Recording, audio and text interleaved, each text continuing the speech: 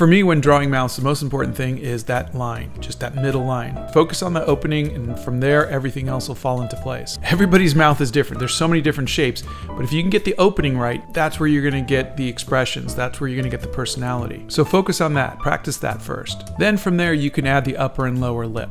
That's when everything takes shape. Even on the profile, add the line where the mouth opens, then the upper lip and the lower lip. Remember that they're going to be affected by light and shadow, with the upper lip almost always being darker than the lower lip. Giving the lower lip some bounce light from underneath also helps give it the illusion of volume. Now when it comes to teeth, I try not to draw the gums and every tooth in full detail.